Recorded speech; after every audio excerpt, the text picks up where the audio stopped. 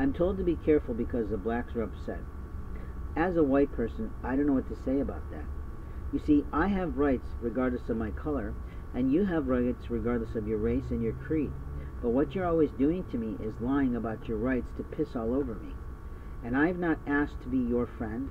I've not asked you to be go into business with me to any end, and I've not asked you to provide me one thing from your house in America. But for some reason you think you have the right to piss on me for my color. And no offense, but that's reverse racism. And we didn't die in the marches all over the world to protect ethnocensorship, not at all, to protect diversity. So when you're sitting there misbehaving in your own color, please do not piss on me because you did that to your own self. You did that to your own family. You did that to your family of origin who clearly didn't teach you how to behave in regard to your heritage and your history. But that's not on me. My late father taught me what was right.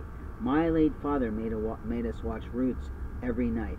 And we did it year after year when Alex Haley's stuff played all the time on television. I don't think we do that anymore, but I think we should do it again. Because people have to remember where we've come from and where we could end if we don't get our shit together in America to love everybody. But loving everybody doesn't mean we're best friends. And loving everybody doesn't mean you have the right to come into my family and act like you're my friend, or act like you're my sister, or act like you're my brother. In general, a man of faith is welcome to that. But when you lie, steal, and cheat me out of my rights to say no to you, or no to anybody, or no to my property being stolen, or no to my paper being ruined, or no to police officers who ripped out my ACL and made it difficult for me to walk, I don't care one thing about you.